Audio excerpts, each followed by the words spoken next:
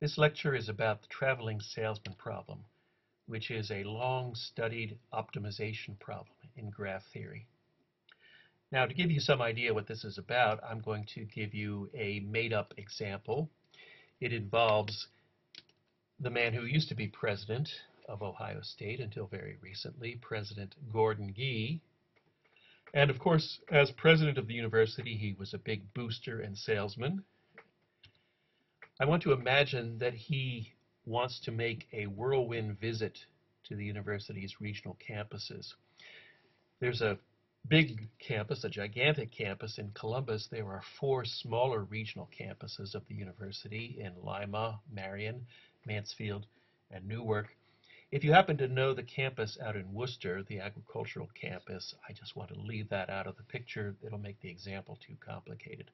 So we're going to suppose that there's Columbus and the four regional campuses.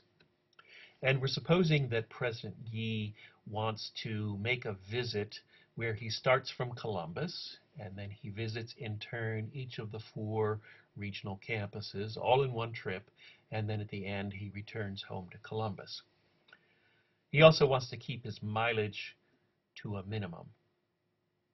Well, the relevant information is shown in this graph that you're looking at over on the right. This is what's called a complete graph. What's a complete graph? Well, in a complete graph, you have a certain number of vertices. It may be whatever you like. In this example, it's five. And here's the rule about putting in the edges.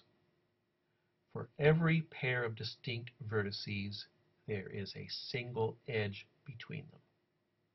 There are no multiple edges, and there are no loops. In our example, there were five vertices. It turns out that if there are five vertices in a complete graph, then there must be 10 edges. That is to say, there must be 10 pairs of vertices, and for each one, you're supposed to have an edge. Now you'll notice that in this graph there's more information.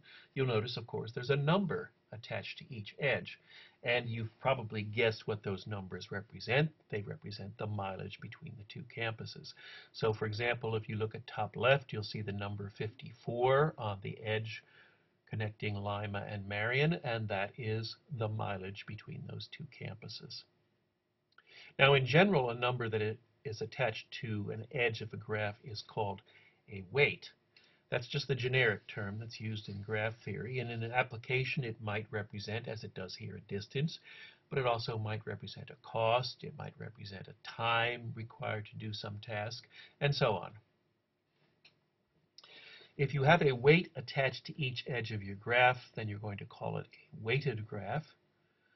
And thus, in our example, since we have a complete graph and we have a weight on each edge, we'll call that a weighted complete graph. Now notice that what President Gee is looking for here is a Hamilton circuit. He wants to take a trip following a Hamilton circuit. That is to say, he wants to visit each vertex exactly once. I've given you an example of one of the possible trips he might make, and of course it is a Hamilton circuit. It's the one that's shown in orange at the bottom. Columbus to Marion to Mansfield, to Lima, to Newark, and then back to Columbus. All right, a Hamilton circuit, in other words, a trip involving visiting each one of the vertices representing the campuses. Notice that there are five vertices listed. Columbus, of course, needs to be listed both at the beginning and the end. Now, what is the total weight of this Hamilton circuit? Well, what do you think that should mean? You've probably guessed what that means. It means, of course, the distance that would have to be traveled in taking this trip.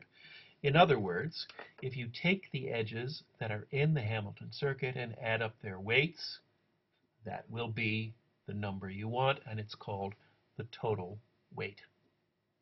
So let me ask you, take a moment and figure out what is the total weight of the Hamilton circuit that I've given you pause the video for a moment, work that out, and then see if we agree.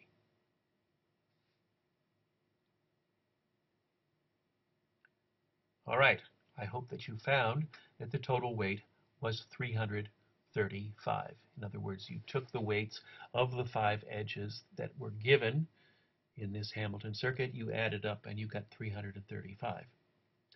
Now that was kind of easy, but here's a harder question. Is this the best Hamilton circuit? And what would I mean by best? Well, of course, the one of least total weight.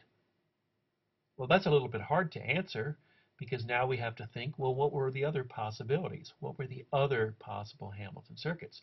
So we're not really sure if this is the best thing to do or not. We're not sure that this is the best Hamilton circuit.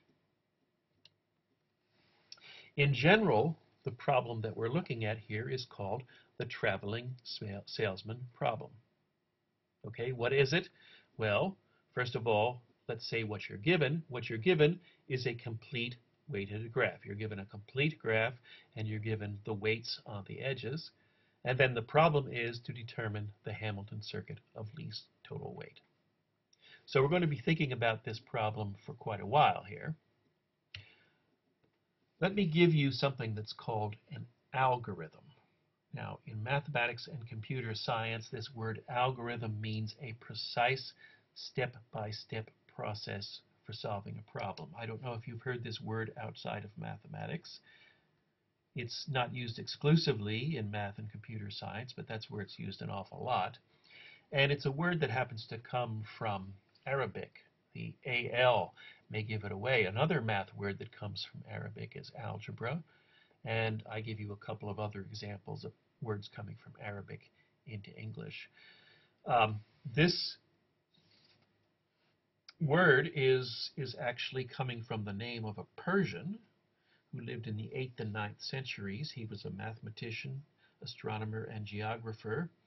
And according to Wikipedia, the Latin translations of his work introduced the decimal positional number system to the Western world. Not only does the word algorithm come from a Latin form of his name, but the word algebra also happens to come from this person's work. It is derived from the name of one of two operations he used to solve quadratic equations. So that's the general idea of algorithm. Of course, we were talking about this traveling salesman problem. And let me tell you an algorithm for solving it. That is to say, I'm going to tell you a precise step-by-step -step method for solving the traveling salesman problem. Here are the steps. Step one, list all the possible Hamilton circuits. Step two, for each one of these Hamilton circuits, compute its total weight. And then I hope step three seems sort of obvious given what you've already done in step one and step two. At this point, you will have a list of all possible Hamilton circuits together with their total weights. So what you do is you look through your list and you choose the best one. You choose the Hamilton circuit of least total weight. Now, we're actually going to try out this algorithm in recitation. So I'm asking you to do that, and it's going to involve quite a bit of arithmetic. So make sure that you bring your calculators. So bring those along and then you're going to carry out this algorithm for the example that we've seen earlier, the one involving the Ohio State campus's graph.